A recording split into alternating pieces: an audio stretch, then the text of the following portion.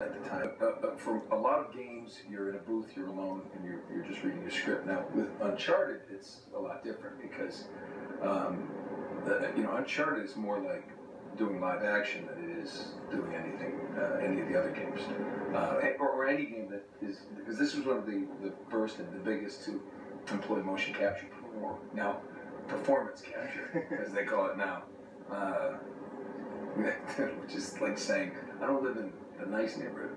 I live you know, adjacent to it. Minimal props. It's all imagination, uh, working with your fellow actor, uh, and to, to make that virtual world that nobody can see at the time come to life. Sam, get in the goddamn car! Run faster! Stop arguing! Oh, shit!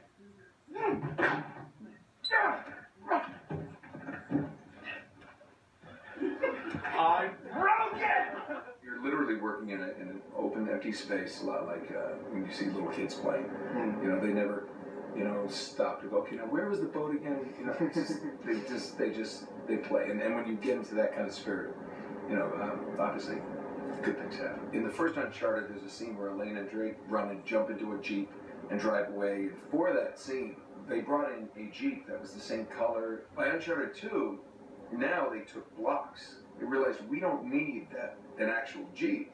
And it was just blocks, but it looked kind of like a Jeep. By Uncharted 3, there were two chairs and a steering wheel because you don't need anything but where we're going to sit. So, uh, you know, it got pared down. The first audition for Nathan Drake, I walked in thinking this was just a, just a game, and I was just going to do my voice. And then the director and the producers, and I remember it's Amy Hennig and Gordon Hunt, and people in the room. And normally when you audition, when you go not from home or something, you know, you're in a stand, everyone's behind the glass.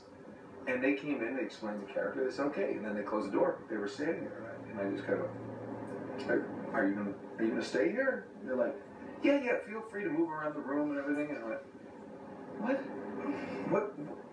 I had no idea what it was. I didn't know it was a game. I didn't know it was performance capture or anything. I said, you use this space, which was, you know, about six by six. There's not much space to use. I remember I was, I just, I think I did a somersault and rolled and I slid behind a chair and I slid too far and I hit something and I just, you know, I, I, I looked kind of like an idiot doing it, and I think that's that's kind of what made. Hey, Tech Radar, it's Nolan North, voice of Nathan Drake and others. Oh, the Penguin, maybe. Everybody happy? All right, very good. And Dr. Richtofen, that's one of my favorites. Any others? People want to shout out, you can. Good, we're done here.